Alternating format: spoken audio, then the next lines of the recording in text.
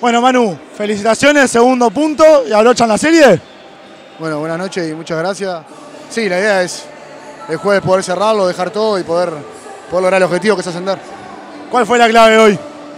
Creo que defensivamente entramos muy bien y bueno, jugar con otros extranjeros que sobre todo Justin abajo del aro tiene mucha ventaja. Contame, ¿pensás que con tu llegada, la de Soran, la de Justin, cambió un poco la cara de Goes? Sí, yo traté de venir con la mejor energía posible, de, de poder ayudar al equipo en, en, todo sentido y bueno, creo que por suerte los resultados se están dando y estamos entrenando bastante bien, que es lo importante y bueno, ojalá el jueves podamos cerrarlo y demostrar todo eso que hicimos durante todo el, todo el torneo, cerrarlo y lograr el objetivo. ¿Cuánto de lo que aprendiste el año pasado en Argentina pensás que podés aplicar ahora en Goes? Nada, creo que sobre todo el foco y la seriedad a la hora de, de jugar cada partido y confiar en mi juego, confiar en el equipo y tratar de fluir a medida que el partido va avanzando, que es lo más importante. ¿Se te notó molesto, sobre todo con la humedad? ¿Pensás que, ellos, que eso influyó en el juego de ustedes y en el de ellos? Yo creo que sí, en, en cierto momento sí, porque uno indirectamente, inconscientemente, a veces no hace algún movimiento o no juega con tal intensidad por miedo a resbalarse. Y nada, lo que menos quiero es una lesión de ningún compañero, ya sea de Capitol o de, o de Goe, no es la idea, entonces nada.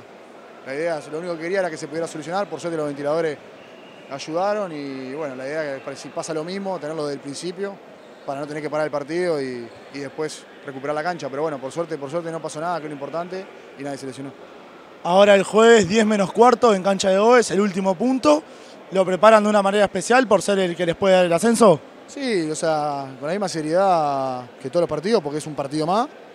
Obviamente es el partido clave para el último partido que nos falta para, para ascender.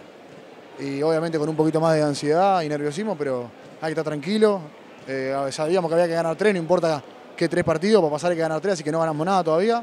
Y nada, darle todo el jueves para poder ascender. ¿Cómo es tu relación con los juveniles del club? Bien, la verdad que muy bien. La verdad que desde que llegué, primero que me gustó mucho la seriedad que tienen para entrenar y las ganas que le ponen, que eso es lo más importante, porque ellos ayudan a que la práctica sea buena o no.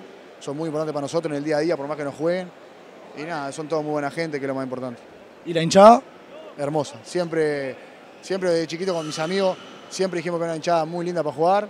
Eh, un club que la verdad, cuando tuve la posibilidad y de poder venir, la verdad que me encantó la idea, me encanta el ambiente que se genera. Y nada, ojalá esta gente pueda estar en la liga, este club pueda estar en la liga, porque creo que le hace muy bien al básquet uruguayo, la cantidad de personas que ponen en la cancha, el color que le dan y ese sentimiento que tienen de barrio.